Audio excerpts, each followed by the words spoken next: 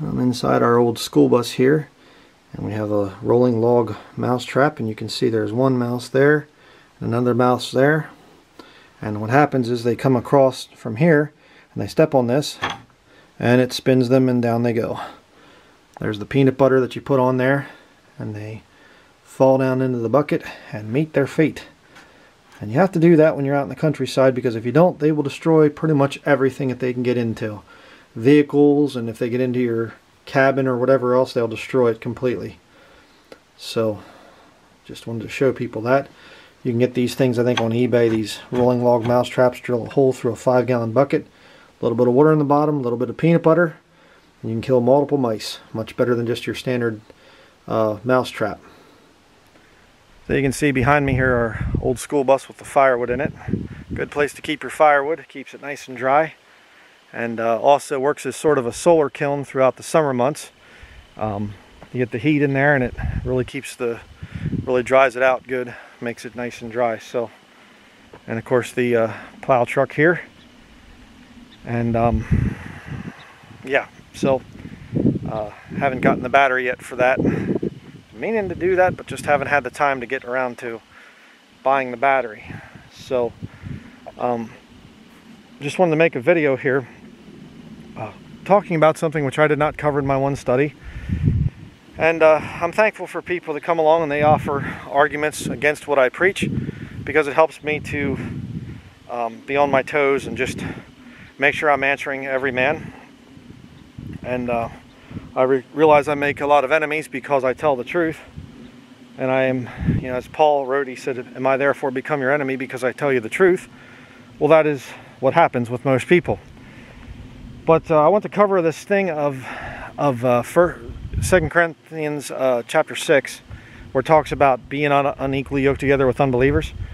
And people say, "Oh, the only I've seen this thing in the comments. The only standard in the New Testament for marriage is that you're not to be unequally yoked together with unbelievers." Beautiful dark purple leaves here. I think it's called Virginia creeper. That plant, it's kind of a, a vine type of thing, but getting back to the subject here, the only standard is you're not to be unequally yoked together with unbelievers. Well, uh, in terms of instruction and righteousness, that is true. Definitely, I will not say it's a lie or anything else. It is true. You should make sure that you're married to somebody who's saved. But 1 Corinthians chapter 7 gives you instructions about how what to do if you're married to somebody that is lost if you're pleased to dwell with them and if they're if you're getting along, you're not supposed to leave them. So to say that uh, you there's a rule in the New Testament that says you have to be married to somebody who's saved, and then you apply Second Corinthians chapter 6 to it, uh, that's not true. You have a major doctrinal error there. Um, you have to be careful what you come up with. You see, when a man is called into ministry, God doesn't just say, okay, you got saved, you ready to preach? Go preach. It doesn't work that way. God has a system of uh, learning and education that has to be there. And there's no Bible college education in the scriptures. You have to understand that because that produces a lot of times the wrong thing because you have the Bible college if they're teaching the wrong doctrines, if they're teaching the wrong um, beliefs towards the scriptures, the inspiration of scripture, then all you're doing is you, you can't graduate from that Bible college until you admit to their wrong doctrines you admit to their wrong doctrines and now you come out and you get your degree and everything else. Um, that's a problem. Shouldn't be that way. Um, there, the Bible talks about there being heresies that they may that they are that are approved can be made manifest. Again, paraphrasing there, but the whole point is there are men that can go through Bible college. They can come out with a PhD and they can speak heresy because the Bible college itself was corrupt. So when I say education, you have to understand what God's system of education is. God will put you through the school of hard knocks. God will allow you to get beat up and, and uh, sometimes literally.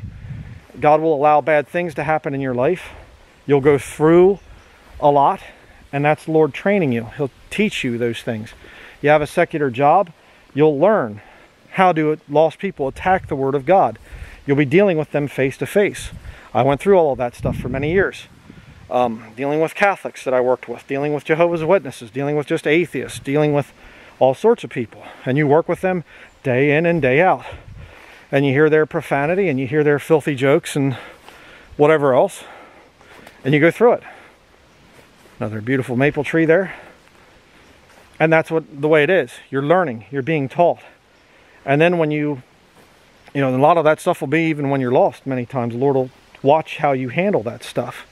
Um, you might be a false professing Christian like I was. And so I would stand up for the Word of God even though I didn't really understand what I was saying.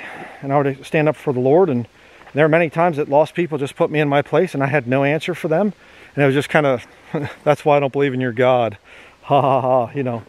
Well, wait till I get saved and then come back. But um, so that's one part of education. The other part of education is God will make you live the King James Bible. He will uh, put you through experiences where you'll be able to relate to the scriptures. You'll say, Paul had this happen to him. Jesus had this happen to him. People were, you know, mocking him and putting him down, and you know, his disciples, well, Judas Iscariot, I'll say it that way, turned against Jesus. And you'll get that. You'll go through that. That's all part of the Lord putting you through things. So there is no such thing as somebody that gets saved and instantly they just right into ministry and, and they're on a high level and you you know you can trust every word that they say. No, it takes years. It takes years of learning. It takes years of study. You say, what about the Apostle Paul? It kind of looked like he was there and on the road to Damascus and he is struck with blindness by the Lord and he goes and he's there and and uh, always forget the guy's name. I why I can't remember that. But the guy comes to him and he says, you know, brother Saul, receive thy sight. You know, and he scales fall off of his eyes and he can see and he goes out and he starts to preach. Uh, you say, well, what about that? See, Saul, later called Paul, he's an example where you're wrong, Brian. You're wrong. You're wrong. You're just as wrong as you could be. Uh, well, remember that Saul was actually brought up at the feet of Gamaliel. He was trained in all the things about the law and everything else. He was a very highly educated uh, young man. So, a little bit different situation.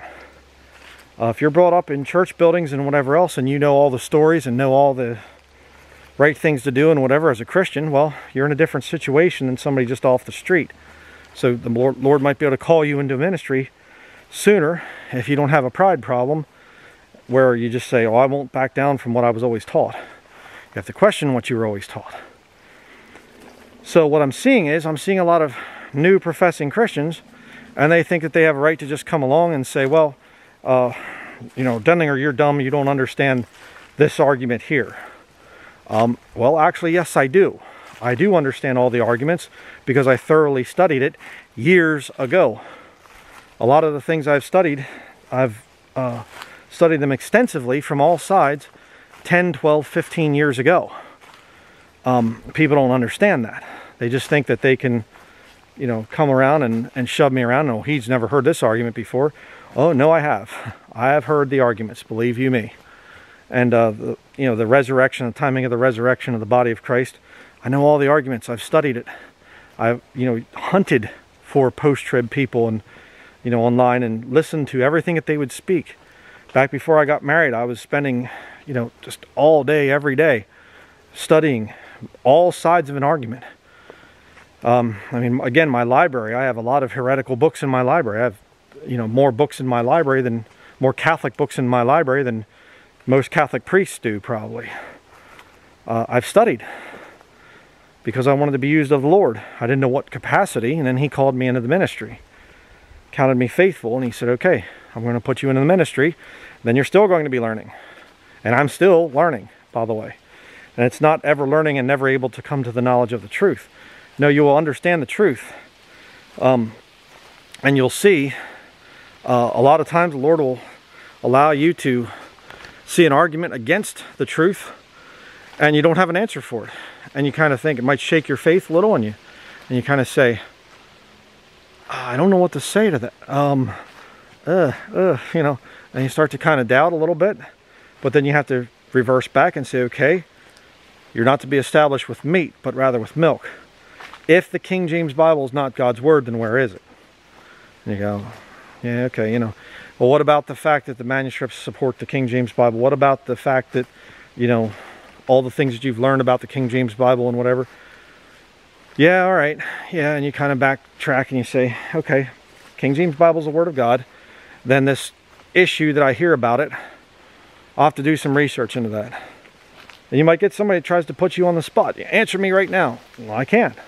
Well, then that proves it's wrong. No, it proves I don't know how to answer you right now. I'll get you the answer. But uh, reverse it on them then. See? And just simply say, okay, if what you're saying is true, in your mind you feel that this is true, then where does that leave you as a Christian? You know, or whatever, or as an atheist? What about your system of evolution? If my God, the God of the Bible, is such an evil, misogynistic, racist, bigoted, homophobic, you know, all the names they come up with, with for God, you just simply say, how about evolution? How about the process that, uh, you know, teaches that death is the means of getting ahead? How about that? Pull the spider web off here. you know, there's always ways that you can fight through this stuff. But getting back to the topic here of this video, this thing of being unequally yoked together with unbelievers, that's the only standard in Scripture. That's not true. And if you actually read 2 Corinthians chapter 6, where it's talking about being not unequally yoked together with unbelievers, for what fellowship? It's about fellowship. And it says about sons and daughters later on in the passage. Um, I don't think that you're getting married to uh, multiple wives or multiple husbands. What's it talking about? It's talking about the body of Christ fellowshipping with lost people, getting together with lost people, which actually condemns all church buildings because church buildings are open to the public. And the public, the lost people, are regularly invited to the church through fellowship suppers or through revival meetings or whatever else, thereby violating the scriptures. Um, so, and you know, again, you can get into all the arguments there. Well, what about in 1 Corinthians chapter 14? It talks about if an unbeliever comes in, they're speaking in tongues. It says if, first of all. Secondly, it's talking about a public gathering in that passage. It's not talking about some church building where you have uh, lost people are invited, all are welcome or something. It's not talking about that. Again, I've gone through all of this stuff. Well, you need to, you know, re repeat it in all the studies that you do or something. I can't. Uh, the Bible you know, sound Bible doctrine is very complicated, incredibly complicated. Yes, there are the basics of Scripture that you can understand as a babe in Christ, and that's all you really need to know at that point in time. But as you grow in the Lord, the Lord will start to reveal more things to you. That's how it works. All right? Um, but be not unequally yoked together with unbelievers. Brothers, see, it's just about saved versus lost. And that's all it ever was. It was just any time that there's condemnation, about, uh, you know, marriages that were bad or something in the Bible.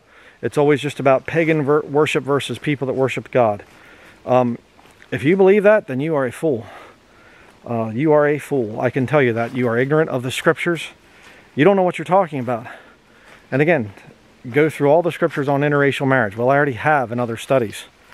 I've gone through it all, showing that there's a an issue about seed Okay, uh, the seed there, referring to the children of Israel.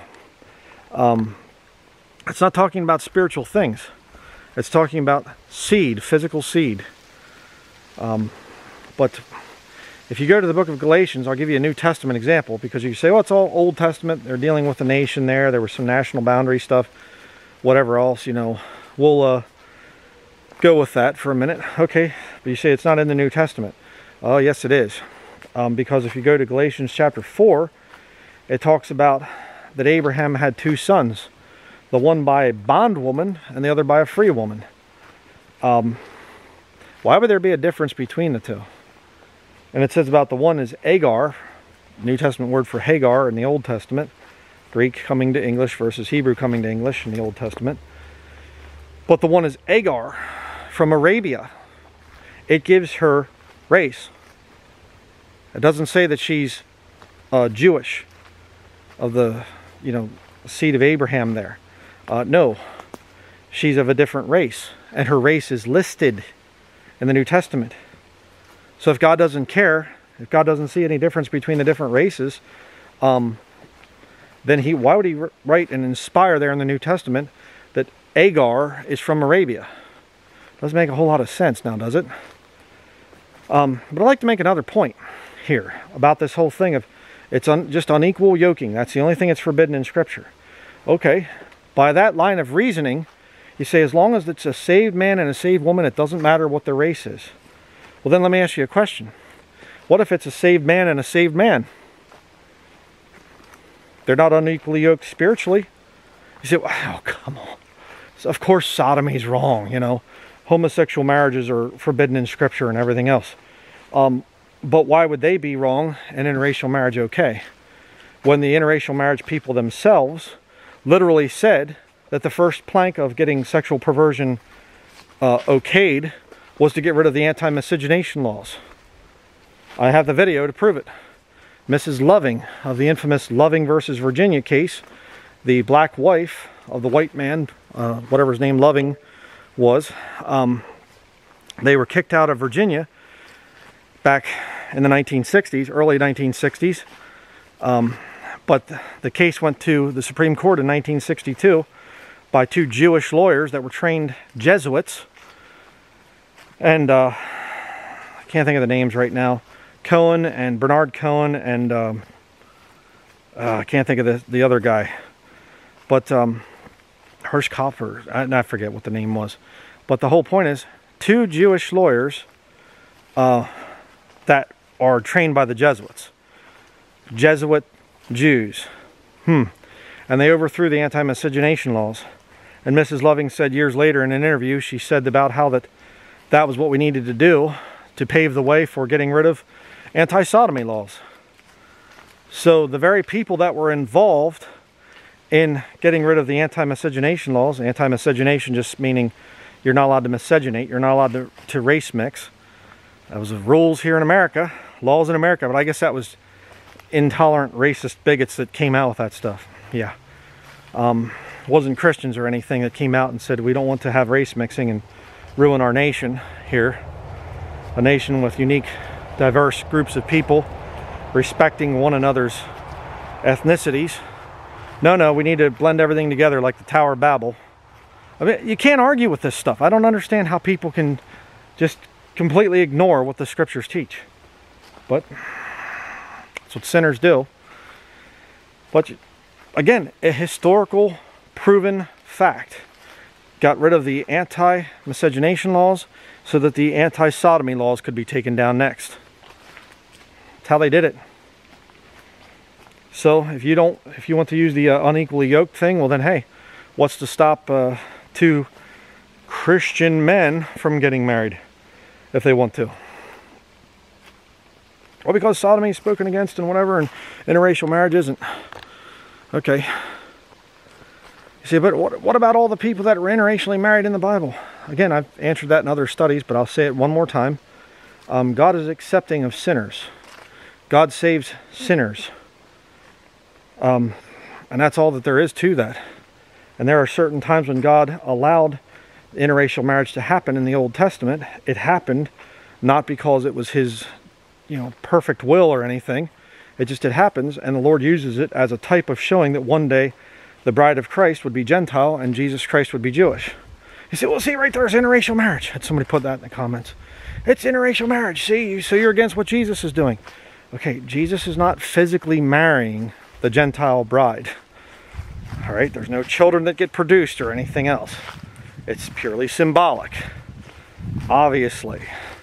I don't think Jesus is going to get married to, you know, right around a little less than uh, 200 million Christians or something.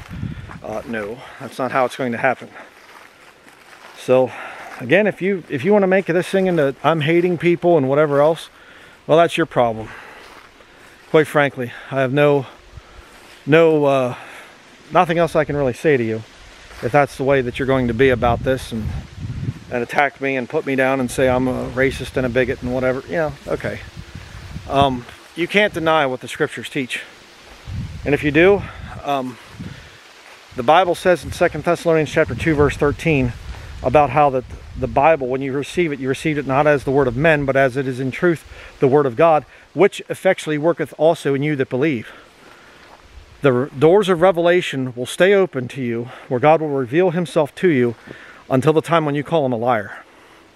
And as soon as you call God a liar, as soon as you stop believing in his word, he will slam the door of revelation shut in your face. And I don't mean the book of Revelation, although that's there too.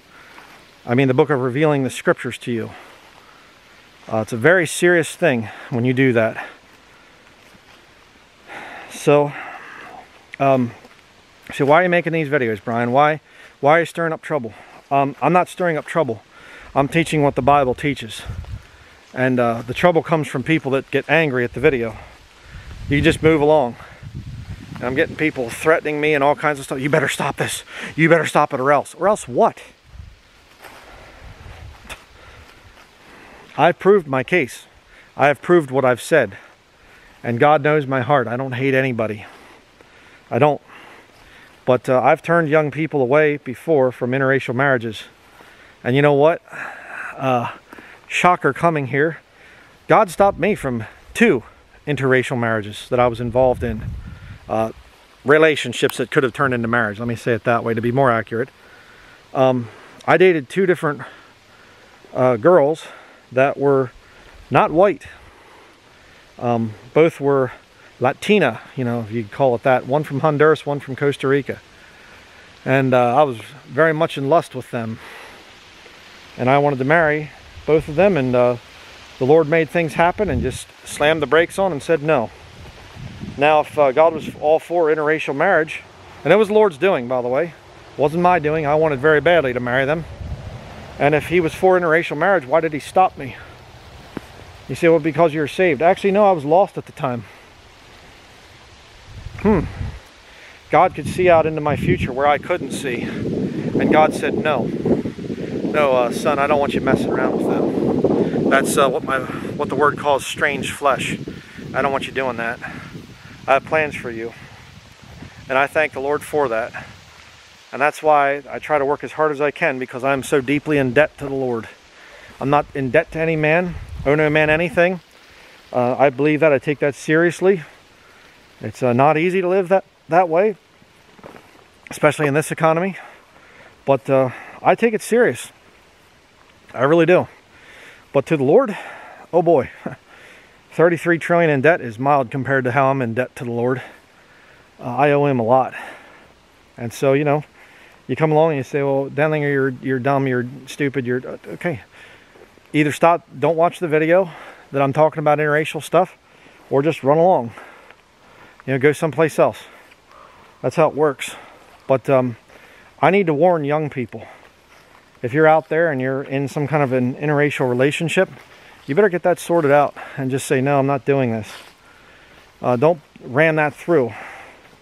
I've seen a lot of interracial marriages interracial relationships and they end, uh, end up very miserably and end up very bad. And somebody will say, well, I know, I'm in one and it's wonderful, it's great. And, okay. There's always somebody like that. so, but uh, I will be coming out with another video or two on the issue. It's one of the things I take stands against because it's one of the things, you know, I'm supposed to hinder the Antichrist system. The Antichrist system cannot come in uh, without the distinctions in people's ethnicity being removed. We have to get rid of all that stuff. We have to come together. It's all one world. We can't have nations with national sovereignty and closed borders and, and law, you know. Rule of law has to be done away with so we can rewrite the rule of law and bring in our new world order. No, no. Um, I'm going to fight that. Well, you can't stop it, um, obviously, but I'm supposed to hinder it, and I will hinder it. Um, I will fight against it. And I thank Lord when I hear from young people and they say, hey, brother, I was involved in a sinful relationship, interracial relationship, and uh, broke it off. We didn't get married. I thank the Lord I didn't go through with that. So that's what I'm doing. Um, there's seed there. I'll be coming out with a study in the future, a detailed study on the thing of the holy seed and how it was mingled. And um, why the Jews have mingled their seed. Why would two Jewish lawyers want to overthrow anti-miscegenation laws in this country? Why would they want to do that? Is there a reason for it? I mean, Jesuit trained, Georgetown University, forget what the, where the other guy went, but Georgetown University, the biggest Jesuit school in America, training two Jewish men and they come out and they make it a big their their purpose in life to get rid of the anti-miscegenation laws here in America.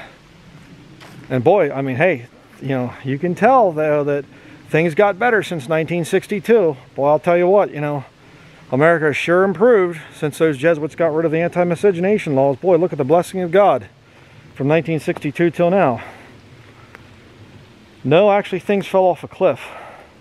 Things have gotten much worse since 1962. Um, and the anti-miscegenation laws are a very big part of that. Because now all of a sudden uh, sex perversion and, and, deviancy is more accepted now. But uh, they had to get rid of the stigma of interracial marriage being wrong and whatever, and, you know, uh, we, we have to get rid of that. And now that we've gotten rid of that and we're done with our prejudices and all this other stuff, now we're okay with it and, and um, now we can start to go to the next thing. Getting rid of the stuff against sodomy. Um, you know, now they're coming out with more and more things and they'll have, you know, sodomites and, and um, we're just supposed to be okay with this. Now they can go after the children and, and uh, do surgical procedures on children.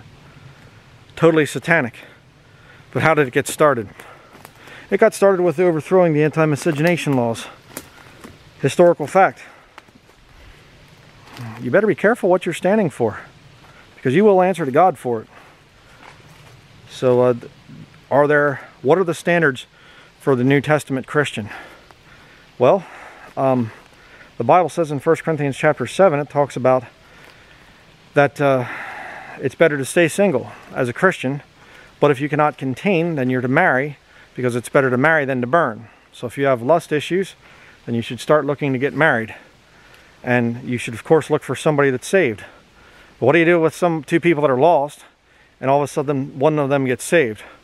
Do you just divorce because your husband or wife is lost? No, you don't do that.